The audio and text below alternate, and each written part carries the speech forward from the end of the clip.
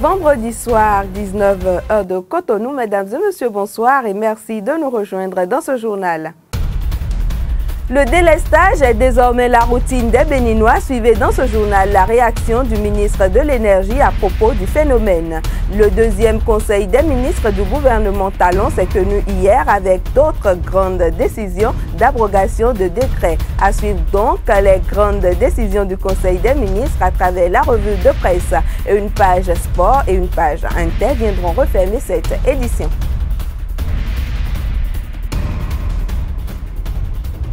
Bienvenue à tous. Le délestage est récurrent au Bénin depuis un moment déjà. Suivez comment les Béninois vivent ces coupures intempestives de l'énergie électrique dans ce reportage de Floriane Diamabou. Les populations de Cotonou et environ subissent ces derniers temps les coupures intempestives du courant électrique. C'est à peine si en une journée qu'ils jouissent de quelques heures d'électricité, ce qui cause d'énormes désagréments dans leur quotidien. Il y a trop de la chaleur, même en même temps, en même temps, on se coupe comme ça. C'est pas bon, ça a grillé au moins, au moins 8 euh, comment dire, des, ampoules. Chaque fois, les frigos, on paye des blocs après que le courant vient. Si le courant à la maison, partout dans le quartier. Écoutez, ça, en ce moment, c'est plus que la dévaluation. Parce que ça détruit tout chez nous. D'abord, tu ne temps pas la nuit. Toutes les choses sont gâtées tout ce qu'on a fait pour nos enfants, c'est gâté dans la frigo. On, ne le pas la nuit. Les télévisions sont gâtées. Je suis resté dans ma chambre sans, que dans l'obscurité, sans le courant même. C'est que c'est trop déjà. Ce délestage a également d'incidence sur leurs activités. Les boissons n'étaient pas du tout fraîches. Tous nos enfants ne passent pas.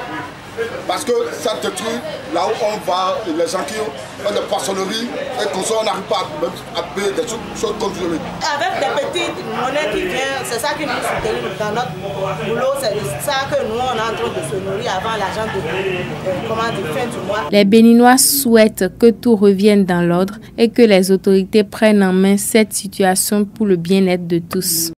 Je l'annonçais en titre, le ministre de l'Énergie a effectué une sortie médiatique hier sur les antennes de la télévision nationale. Il a expliqué les causes du délestage et a également promis des solutions sous peu avant la résolution définitive à l'horizon 2021. C'est Léa Glago.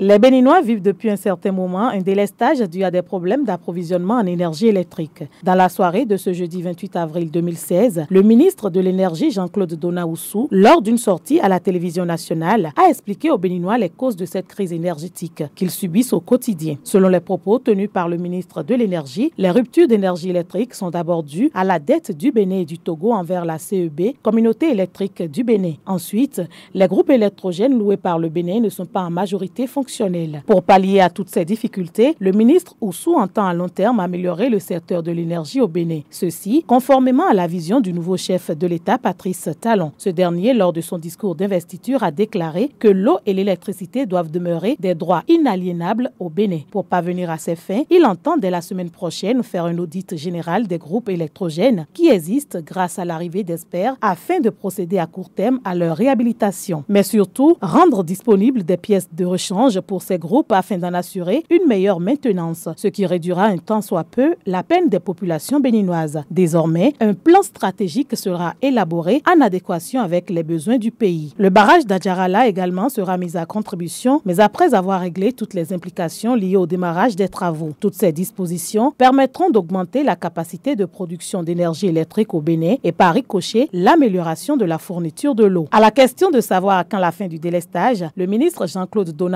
Promet aux Béninois de passer les fêtes de fin d'année 2016 dans la lumière sans aucune coupure. En conclusion, le ministre de l'Énergie sera sur le terrain en tant que combattant tous les jours pour faire en sorte qu'on puisse enrayer définitivement ces difficultés que vivent au quotidien les Béninois. Et pour ce faire, tout le monde doit se mobiliser pour cette cause nationale avant la fin du quinquennat du président Parlons à présent des grandes décisions du Conseil des ministres qui a eu lieu hier après le retour du président Patrice Talon de la France.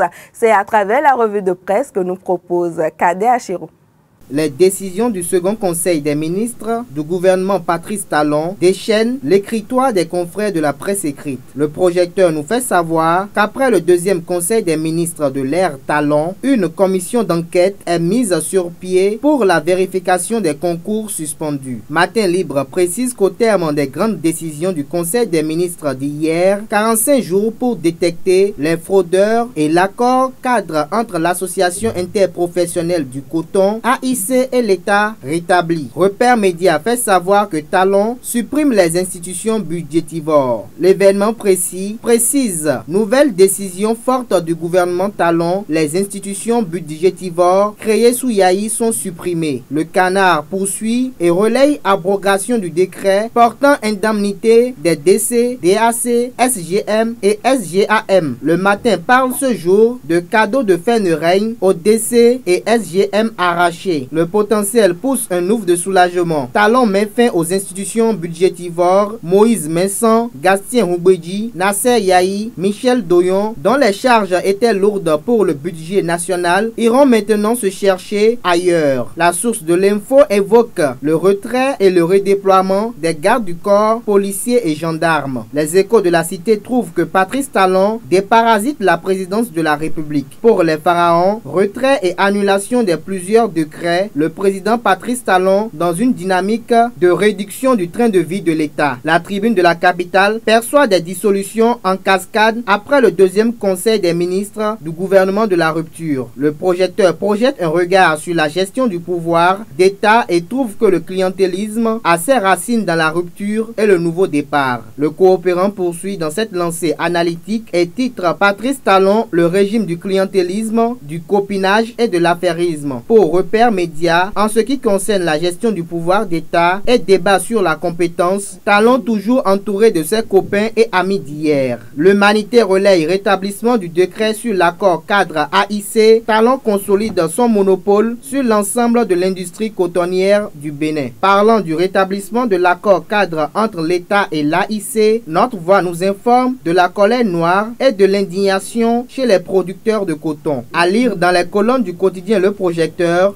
de l'intervention du chef de l'État Patrice Guillaume Athanas Talon au retour au Bénin dans la soirée du mercredi 27 avril 2016. Le coopérant coopère avec l'état-major de Sébastien Germain à Javon afin de nous faire savoir qu'à propos de la rumeur relative à une prétendue prochaine session de la Société béninoise d'énergie électrique SBEE e, à l'homme de la vague bleue, l'état-major du patron du groupe Kajaf Common crie à l'intox. Au ministère en charge des affaires sociales, les pharaons nous apprennent qu'Adidiat Matisse suspend le programme d'appui à l'emploi salarié. La nouvelle génération titre Affaires supermarché Cora. Séverin Adjovi, définitivement rétabli propriétaire des lieux par la CCJA. Le quotidien relate également le fait que les décisions de la CCJA sont sans recours. Et le coopérant publie Conditions de vie difficiles en milieu carcéral au Bénin. Violente manifestation des détenus de la prison civile d'Aboumé contre le manque d'eau.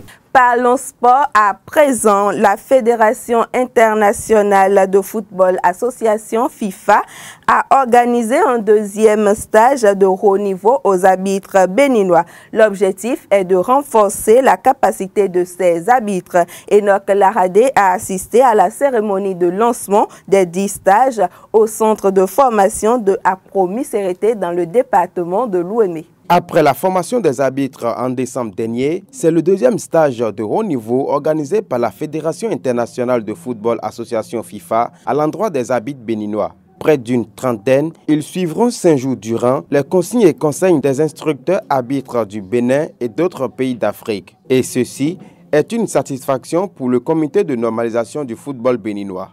Je voudrais remercier la, la FIFA et la CAF pour euh, toujours tenir leur, leur promesse de faire en sorte que les moyens financiers, matériels et humains soient mis à la disposition de la Fédération de football pour que cette formation puisse se faire annuellement. C'est un plaisir, c'est un honneur et je crois savoir que nous, à la Fédération, nous ferons tout et nous ferons en sorte que cette formation, qui est une occasion rêvée, puisse se dérouler à temps. précis pour le grand bonheur du sifflet béninois. Les dirigeants bien satisfaits du résultat précédent, ce qui renouvelle la confiance de ces derniers, à œuvrer davantage pour un arbitrage compétent au Bénin. Je dirais que c'est une prouesse que le comité de normalisation a réussi là où les fédérations qu'on peut appeler les fédérations normales n'ont pas réussi. À partir de la première épreuve qui s'est déroulée ce matin, s'il y a un bilan provisoire à, à faire, nous dirons que nous sommes satisfaits parce que tout simplement, le résultat physique cette année est nettement meilleur à ceux de l'année dernière. À l'étape actuelle, cette initiative de la FIFA réjouit les participants qui souhaitent une amélioration de compétences à la fin de cette formation. Les lois du jeu, comme vous le savez, chaque année, il y a toujours quelque chose qui change et il faut de temps en temps euh, organiser des stages de remise à niveau pour permettre à tous les arbitres d'être au même niveau partout. Ce stage va nous permettre de relever notre niveau pour être euh, parfait sur le terrain. L'arbitre veille à l'application des règles au cours d'un match et ces règles du jeu seront connues par ses arbitres et appliquées sur les pelouses nationales et internationales. Toujours dans la page sport, encore des menaces qui planent sur la Fédération béninoise de football. La FIFA menace de suspendre la Fédération béninoise de football si les élections n'ont pas lieu le 4, le 4 mai prochain. C'est l'essentiel à retenir de la correspondance que la FIFA a envoyée ce 27 avril au Conor. Conor, entendez le comité de normalisation du football béninois. Léandre Kodo nous apporte un peu plus d'éclaircissement. La Fédération internationale de football association FIFA a envoyé un dernier ultimatum au Bénin ce mercredi dans son processus de résolution de la crise qui secoue la FBF depuis plusieurs mois. Alors que tous s'attendaient à ce que Rafiou Paraiso et ses pairs soient révoqués, une correspondance de la FIFA envoyée ce 27 avril au comité de normalisation de football au Bénin Nord vient proroger leur mission jusqu'au 4 mai prochain. En place depuis décembre 2015, le Conor a été sommé d'organiser les élections plus tard le 4 mai prochain. Consultation avec la Confédération africaine de football CAF, nous vous demandons d'organiser le congrès électif le 4 mai 2016, peut-on lire dans la communication adressée au CONOR? Il faut rappeler que les élections à la FBF étaient prévues pour le 4 avril passé. C'est alors qu'une décision de justice du tribunal de première instance de Porte-Nouveau venait alors contraindre le CONOR à reporter cette élection pour laquelle seule la liste d'Anjouré Moucharafou, ancien président de la Fédération de football, a été enregistrée à la clôture des candidatures pour les élections avril À cet effet, l'instance fêtière du Cuiron a signalé une ingérence gouvernementale comme le mois dernier lors du report des assises. En termes clairs, je cite, en ce qui concerne la décision du tribunal de première instance de Porte-Nouveau, nous vous rappelons que les articles 14 et 19 des statuts de la FIFA demandent aux associations membres de gérer leurs affaires de façon indépendante et sans l'ingérence d'aucun tiers. Dès lors, si le congrès électif ne peut pas se tenir le 4 mai 2016 pour cette raison ou pour toute autre intervention externe à la FBF, le cas sera référé aux instances compétentes de la FIFA afin de suspendre la FBF. Si le congrès électif est tenu, la mission du CONOR s'arrête aussitôt après. Dans le cas échéant, le CONOR demeurera le seul intermédiaire de la FIFA au Bénin jusqu'à nouvel ordre. Par ailleurs, la FIFA pourrait suspendre le Bénin si les élections n'ont pas lieu à la date indiquée. Finissons ce journal avec les nouvelles brèves du continent africain à travers la page Inter que nous propose Milka Laourou.